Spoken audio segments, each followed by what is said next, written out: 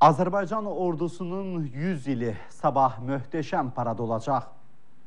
O möhtəşəm günə, o möhtəşəm parada bir gün qaldı. Sabah məhz burada, Azadlıq meydanında Azərbaycan ordusunun yaranmasının 100 ili ilə bağlı möhtəşəm parad keçiriləcək. Paradda ordumuzun ən müasir silahları və texnikaları nümayiş etdiriləcək.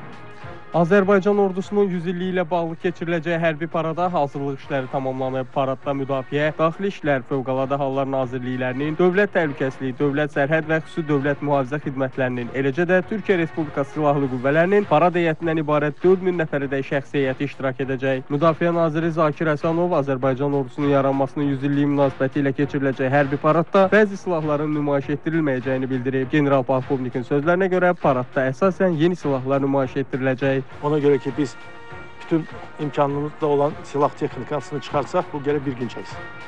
Ancaq və ancaq yeni son illər Azərbaycan ordusunun silahlanmasına qəbul olunan silah, texnika və avadanlıq çıxarılacaq. Qeyd edək ki, 26 iyun hər il Azərbaycan Silahlı Qüvvələri günü kimi qeyd olunur. Firuz Asanov, Qüvvət Sarıkoğlu, Rahib Səfərov, Space.